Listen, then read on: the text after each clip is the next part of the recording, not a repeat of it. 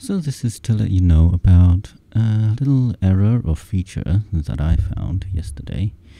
And part of the learning path, I suppose, that you do these things and you just learn these little things and as I learn them, I will also let you know about them. So, what happened yesterday then was I came to do, I came after a restart of the system, Linux and Windows, I came to come back to look at the stuff that I'd been doing. So I went to this sheet here to start and stop Apache Airflow and just followed the instructions as normal, as per normal.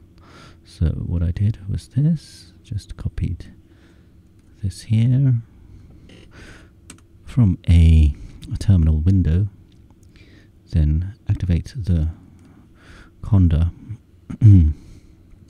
environment and then export. The environment variable. All this is usual. No problem there. And then initiate the database.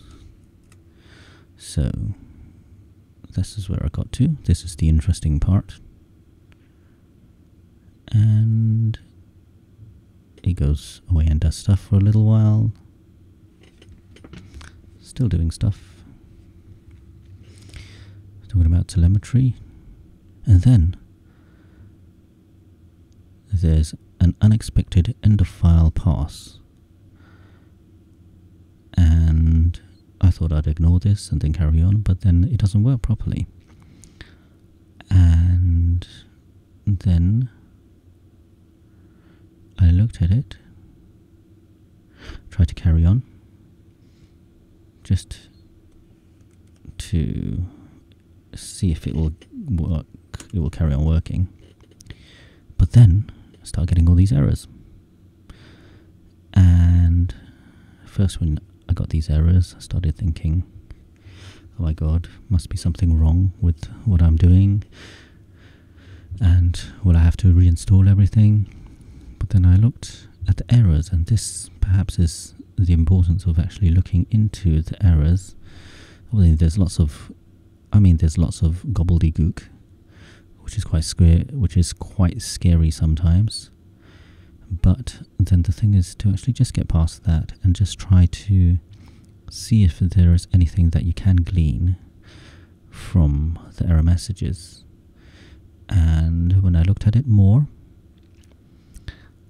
after I initially got over freaking out, then examining it more with a little detail, I recognized something. So it's important to do that to be able to find something that you can recognize. And I saw this bit just looked like code that I had been editing in, and I remembered that part about when initializing the database goes and looks for all the DAG files. And that was the part where I first got funny error messages, right? Before I started Airflow, it was when I was initializing the database. All the way, where was that? Up here, where there was an end of file error. And so,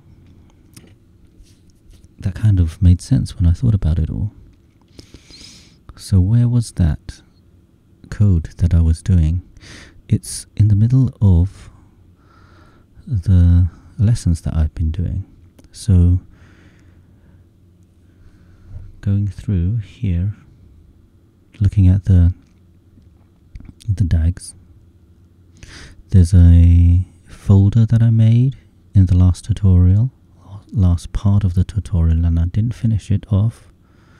And there's also a, a uh, py file a python file with an open with here and then it's kind of unfinished code. I should have commented this out at the beginning at the end of the last tutorial last video and I should have at least left it like this. But even if I left it like this, there would still be this error because this py file is something that it tries to run when it when it initializes the database, and if it doesn't make sense, it will error out. So these files all have to make sense. So to do this, I have to comment this out. And I'm just going to leave this with more comments here to say that this is a deliberate comment and this is a comment just for it to allow the code to run through. So now I'm going to save this and then you'll see what happens. And close out of VS Code. Now I'm going to go back to the step where I had to initialize the database and try it again.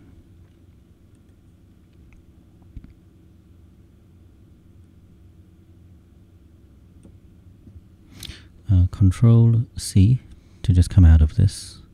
Otherwise it doesn't seem to be really doing anything useful. So then initialize the database this time and then start up airflow.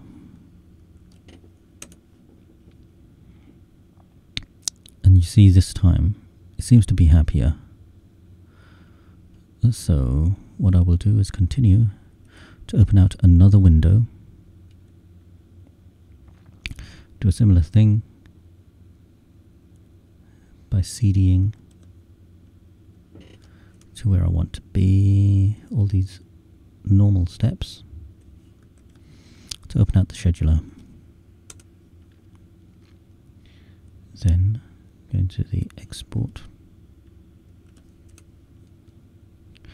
don't have to initialize the database again. This is just to open out the scheduler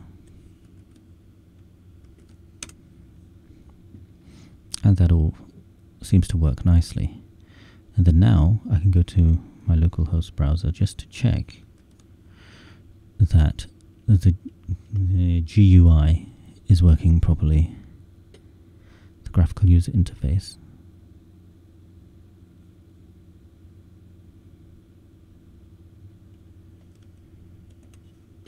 And There we go. Everything looks fine to me. So that was just a, an interesting thing that I wanted to tell you about. So thank you very much for watching.